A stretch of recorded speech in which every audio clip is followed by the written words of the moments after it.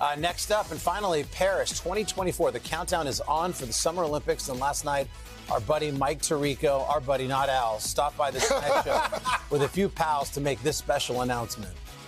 It's an honor to be able to announce for the first time anywhere that this year yes. at the Summer Olympics in Paris, the opening ceremony will be hosted by yours truly, Peyton Manning, and Kelly Clarkson.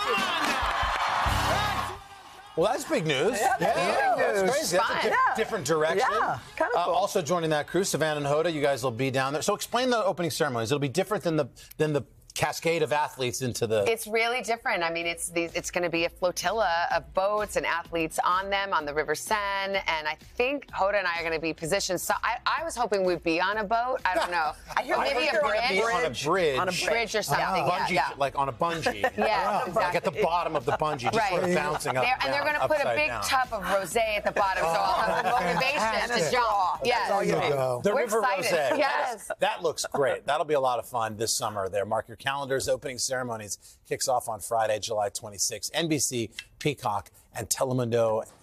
Hey, thanks for watching. Don't miss the Today Show every weekday at 11 a.m. Eastern, 8 Pacific on our streaming channel, Today All Day. To watch, head to today.com slash all day or click the link right here.